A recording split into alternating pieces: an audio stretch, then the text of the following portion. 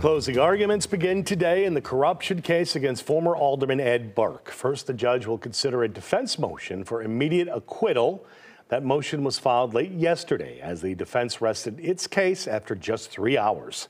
The prosecution spent 16 days laying out evidence, much of it secret, secretly recorded video that it says proves Burke pressured contractors to hire his private law firm as the price of helping them get city permits. The defense argued that Burke's actions were nothing more than old time politics. The former alderman's team called only two witnesses. One of them, former Alderman Danny Solis, he was the man who secretly recorded those conversations.